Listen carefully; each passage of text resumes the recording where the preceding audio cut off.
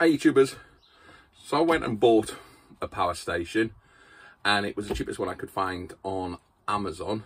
So I thought I'd give first impressions and a full on review. So if you're interested in a power station and you don't want to spend too much money, then stay tuned and find out what I thought of the Enginstar.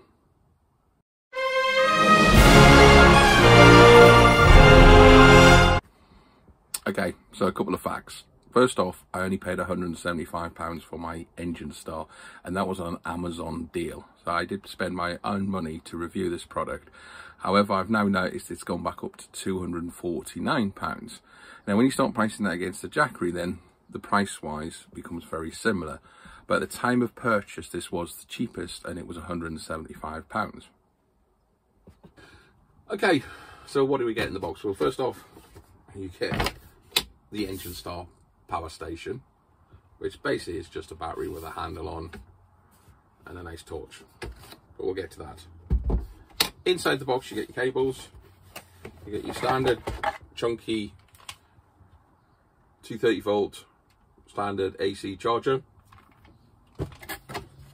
And then you get the cigarette charger so you can charge while you're driving.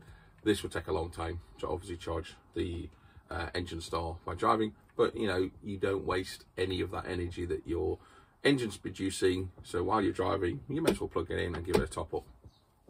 Okay, so estimated charging hours. If you plug it into mains, uh, which is through here, then they reckon about five hours charging time, which fits in roughly to my testing. I've not been able to test it out on using a solar panel because I don't have one, but it recommends between six to eight hours via a solar panel. So you could leave it out all day in the sun and then come back and then you get your, your charge. If you're driving using the cigarette lighter, then that's eight to 10 hours of driving. So certainly in the UK, no one's doing eight to 10 hours. So you're probably not going to get a full charge from driving, but you'll top it up.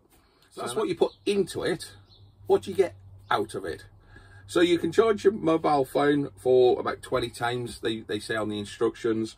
Uh, your laptop, three full charges. I I actually think that's a lot more. I guess it depends on your laptop, size of laptop.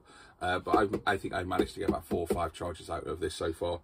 Uh, and also your cooler box, your 12 volt cooler box, I could keep that going for eight hours if I really wanted to, which is great for a weekend. You're only really going to run it for a few hours in the morning uh, just to keep it cool, to uh, keep the milk, etc.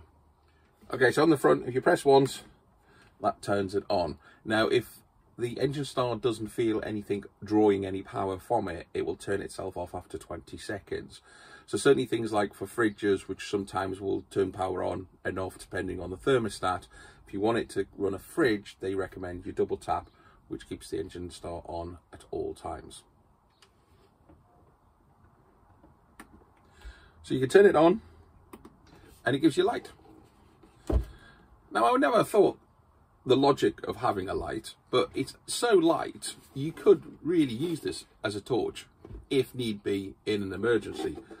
And then you've also got a strobe light on there, a lesser strobe light, and then off.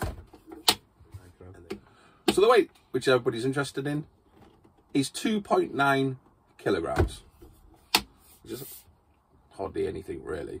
Uh, and that gives you a portable power station. So lightweight, very compact. So let's talk about the front of the Enginstar. So you've got your standard three pin plug. And what I like about this is it actually is this way. So the cable will be coming through this way and not down here. Uh, which you see with the Jackery uh, which I think is a huge improvement on the Enginstar. You've got your standard 12 volt or cigarette lighter, as we all know it as. You've then got the AC on button, got USB A, and then you've got USB C charger for a lot of the modern phones, and then you've got your DC uh, output, and then you've got your uh, 12 volt input, which is your cigarette lighter. Uh, power button, you got your indicator here on your percentage. Be nice to have a percentage on here.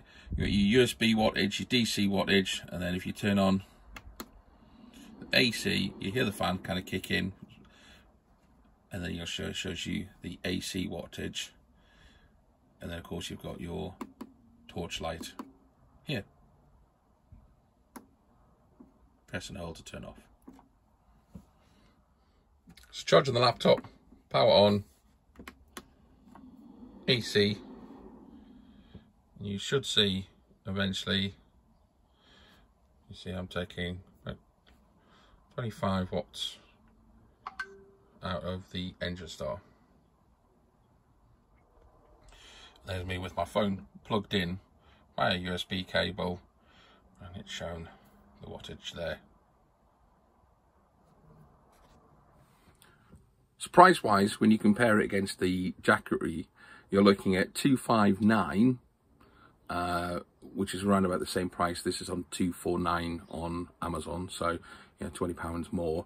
And you only get 230 volts or 200 watts pure sine wave uh, and that's 240 watt hours. So if you're comparing it to Jackery with the Enginstar similar price.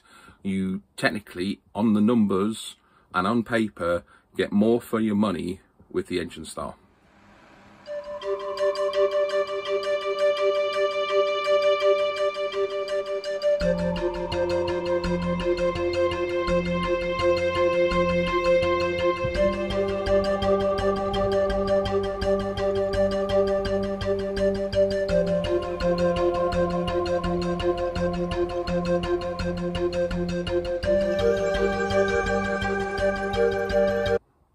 So, what do I think of it? First impressions is very good.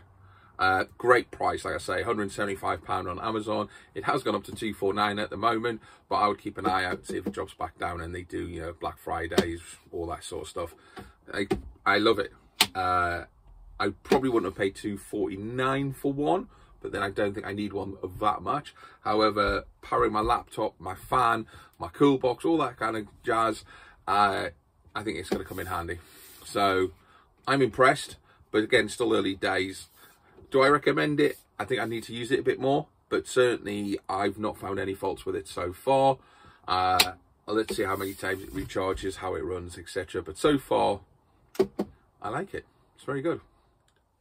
So there you go then, another video and a review on the Enginstar Power Station. Let me know in the comments below if you've got one, if you own one, what you think of them, or if you've got a Jackery and you want to compare, etc., then by all means ask me any questions and I'll try to help out. If you like what I'm doing, click the subscribe button and uh, hopefully a lot more reviews, a lot more products and also a lot more adventures. Catch you soon. See you later. Bye.